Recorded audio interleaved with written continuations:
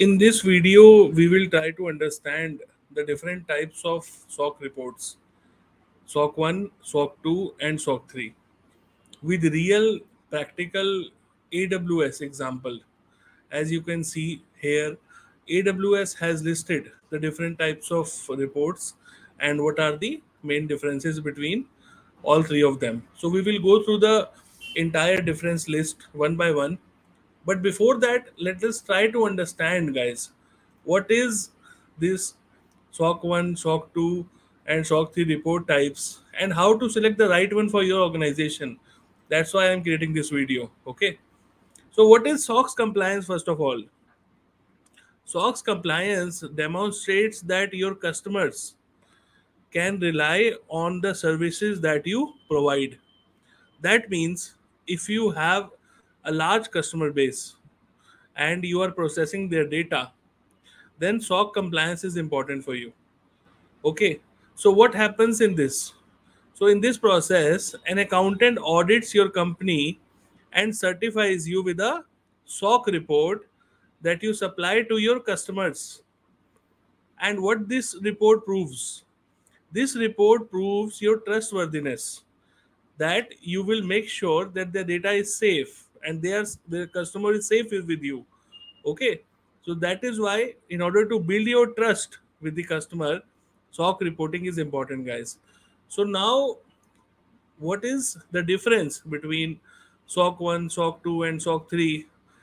And let us try to understand. So first of all, difference between SOC 1 and SOC 2 is SOC 1 primarily focuses on financial reporting, guys, whereas SOC 2 focuses on compliance and operations. Okay. So after that, the SOC 3, SOC 3 is basically for the customers publicly. They can see the SOC 3 reporting. It's similar to SOC 2, but, but with a lesser information. So for SOC 1 reports, the entire focus is on the controls related to the financial reporting. Okay. So data center services that you are providing, if you are providing a software as a service, you have to have the SOC 1 reports in order to instill confidence for your customers financial data guys. It's very important. Okay? If the clients are providing you with their financial data financial statements you have to comply with soc 1 reporting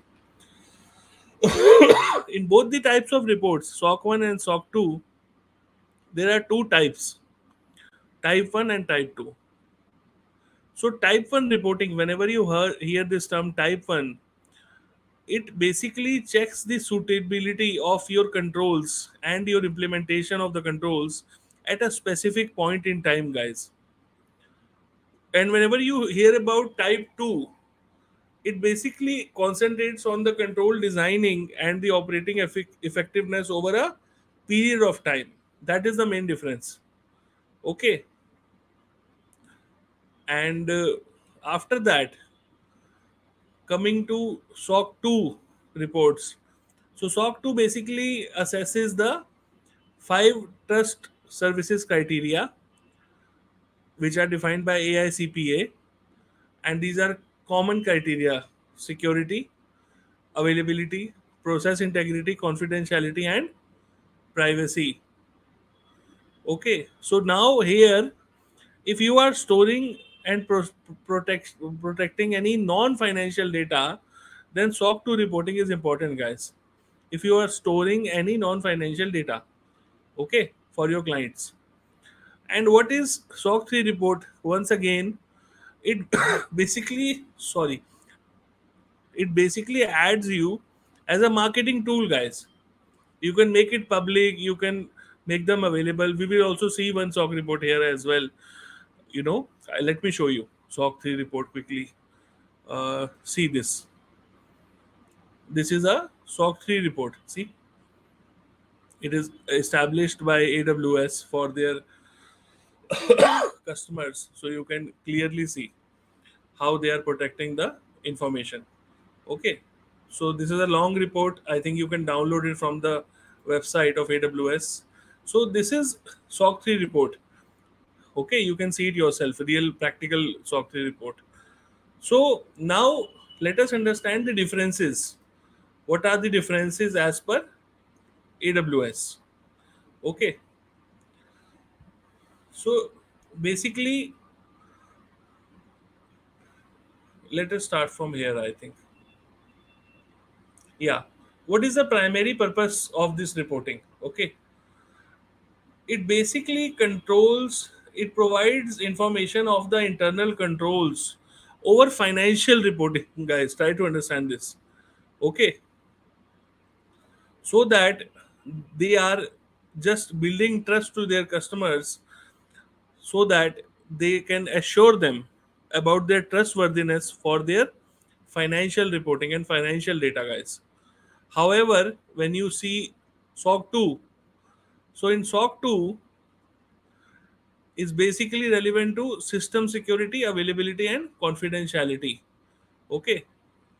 And suitability suitability of design of aws privacy controls as well okay and the five trust principles which i just spoke about. And soc 3 if you see this is soc 3 at the end okay? Here it talks about providing customers with independent assessment of aws control environment relevant to system security availability and confidentiality without disclosing any internal information. Why? Because it is public. Now who is the primary report audience customers okay clients. And again here also clients users with business need. Here also again clients. That's why uh, big uh, uh, you know big companies like amazon are complying with these reports guys because they want to ensure trust and build confidence and trust with their clients okay? So here you can see the soc 3 report publicly available as well so again, you can read more on this over here, but now I can assure you that you must have got clarity in terms of why cloud providers are using these reports and what is the importance. Okay. And it is not only AWS, same is the case with Azure, same is the case with Google, same is the case for any SaaS software as a service provider who is playing with the customer data. If it is financial data, SOC 1 reporting has to be present. If it is operational data and you are storing there, SOC 2 reporting has to be present. And if you're dealing with both, then both the reports have to be present. And you have to comply with both of them. Okay. And if, if now uh, SOC 2 privacy type 1 report is also there, that also you have to comply with if you are dealing with the privacy data, guys so all these are very important uh, you know things things that you should know. And that's why i wanted to take this example rather than showing you slides uh, so that you can drive this point home. And you can yourself see by you know searching this on google that all this information is there. And this is a practical example guys.